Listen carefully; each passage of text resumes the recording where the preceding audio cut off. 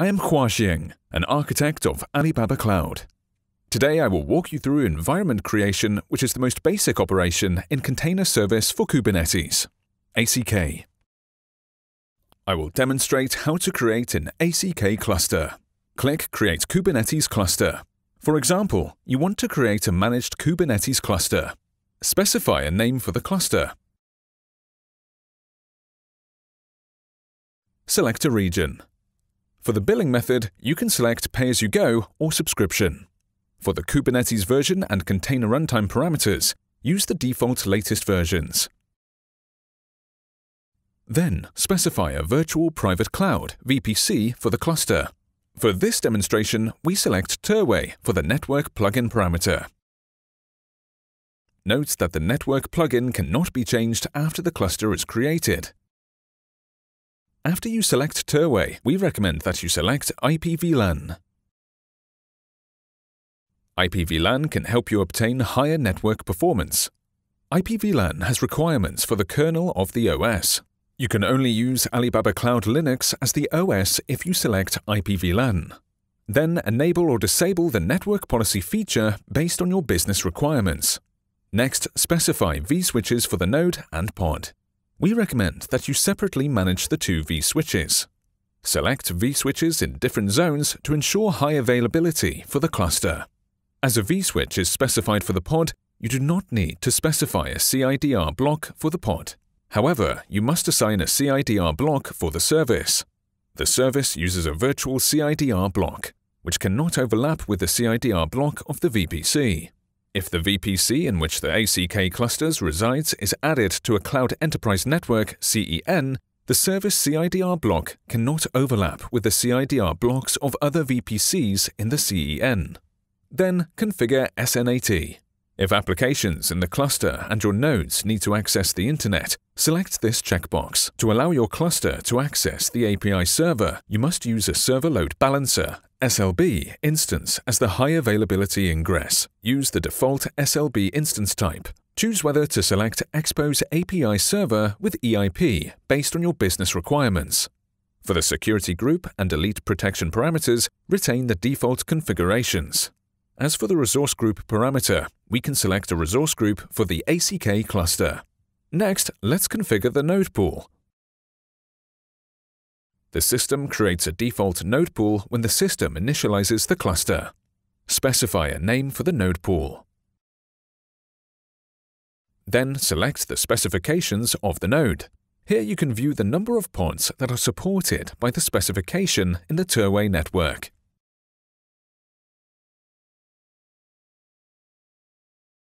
Note that different instance types that have the same number of vCPUs and memory size may support different number of pods.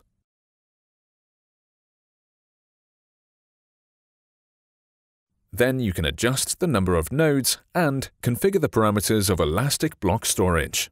You can configure the size and performance level of the system disk. We recommend that you mount a data disk to the cluster. ACK will automatically format this data disk and mount the data disk to the Docker and Kubernetes directories. This ensures that the OS can run in a stable manner, even if the containers contain a large amount of data. Then, about the OS and the security-related parameters, you can use the default values. Next, let's configure components. A wide variety of components need to be configured. In this course, we will only cover the most important components. We will have special courses to explain each component in detail. First, look at Ingress. We recommend that you select ALB Ingress. An application load balancer, ALB Ingress, can ensure better forwarding performance and simplifies the maintenance of the Ingress controller. Look at Service Discovery for languages such as PHP and Golang that do not support the domain name system DNS caching feature. We recommend that you select this checkbox if you use Cloud Native Core DNS for service discovery. This reduces the load of core DNS. Use the default and only value CSI for the volume plugin parameter. If you use NAS file systems as volumes, we recommend that you select the checkbox in this section. This way, your cluster can provide more volume features. If you use the default configurations for monitoring and alerting, you are not charged for the configurations. In the log service component, events can be stored for up to 90 days for free. The extra storage is billed on a pay-as-you-go basis. For the cluster inspection parameter, retain the default configuration. Next, we will check the configurations for the cluster.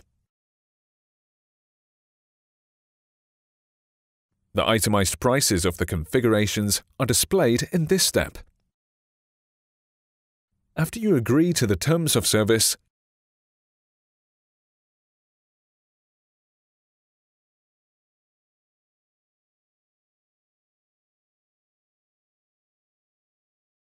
click Create Cluster.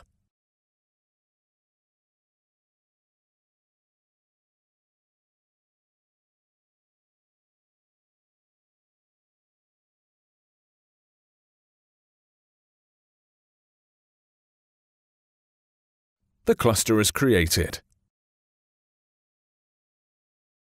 Now you can view the cluster on the Clusters page.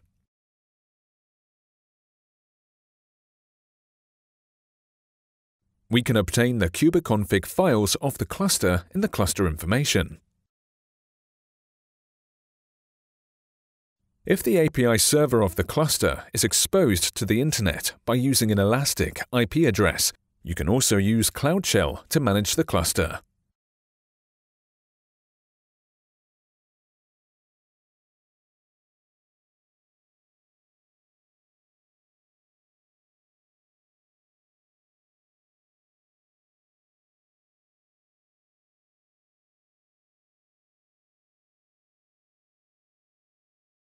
Now let's look at how to create a serverless Kubernetes ASK cluster in the ACK console. Click the Serverless Kubernetes tab. Specify a name and select a region for the cluster. The first difference between ASK clusters and ACK clusters is the billing method. Because ASK clusters use serverless mode, ASK clusters do not support the subscription billing method and support only the pay-as-you-go billing method. For the VPC parameter, if you temporarily use an ASK cluster, click Create VPC. However, if you are working with a production environment, we recommend that you use a VPC that you configured.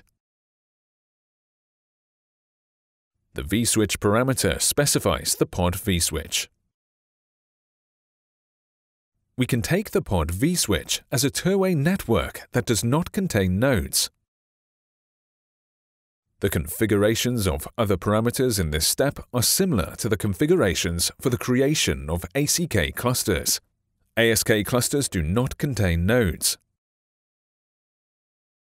You do not need to configure a node, but need to configure components.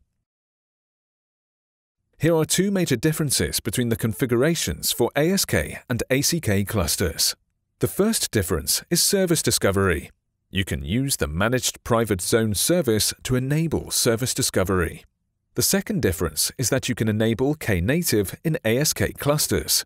We will talk about Knative in a later course. Next, click Confirm Order. On the Configuration Information page, you can see that the resources associated with ASK clusters are much fewer than the resources associated with ACK clusters. The system creates the ASK cluster in a significantly shorter period of time. The cluster is created within 3 minutes.